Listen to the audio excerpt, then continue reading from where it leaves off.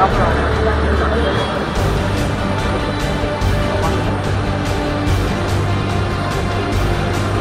you.